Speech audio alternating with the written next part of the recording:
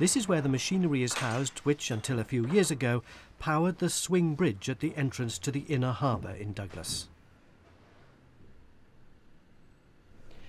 Well, the story starts in here with this marvellous machine. It was originally run by town gas. It was then converted to diesel, and in its latter years, it ran on electricity.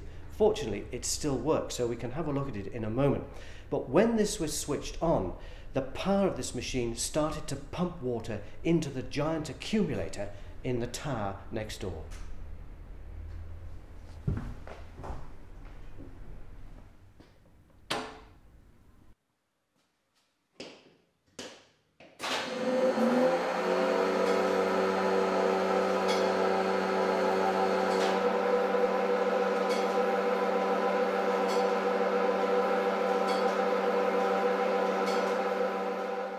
The flatbed engine quickly came up to speed as its piston started pumping water into the next part of the building.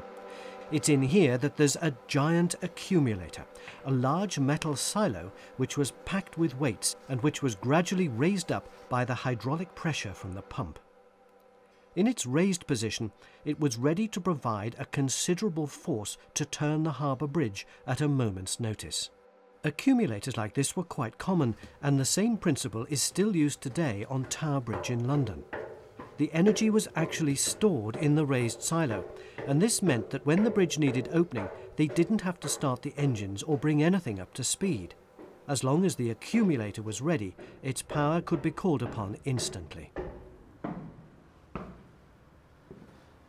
Well, whoever was on Harbour Bridge duty after they'd come up the 62 steps of that spiral staircase went on up there to a small enclosed balcony and to one of the best views in Douglas.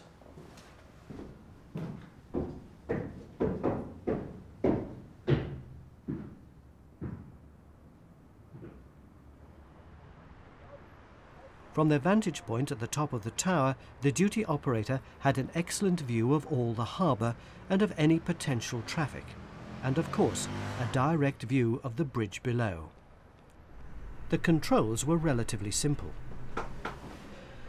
These buttons operated hydraulic bolts that locked the bridge in position and released it again. There were other buttons for warning lights and hooters, and this was the lever that opened and closed the bridge.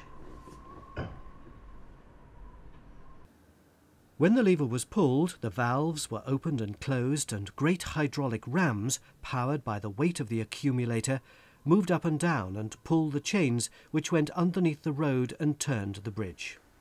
The whole mechanism was, of course, reversible, and when the boats had passed through, corresponding valves were opened and closed, and the bridge swung back again.